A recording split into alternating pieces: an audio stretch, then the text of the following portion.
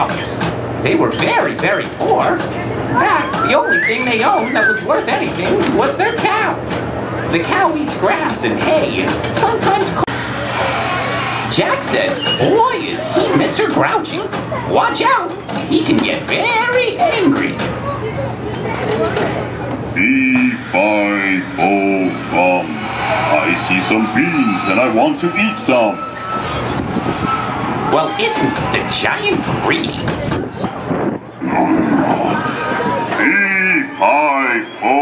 fum. I see some beans and I want to eat some. Now! Where are my beans? Why aren't they mine? How come I can't grow any myself? I want some potatoes and tomatoes and bread for my stew. But all I have is an empty pot.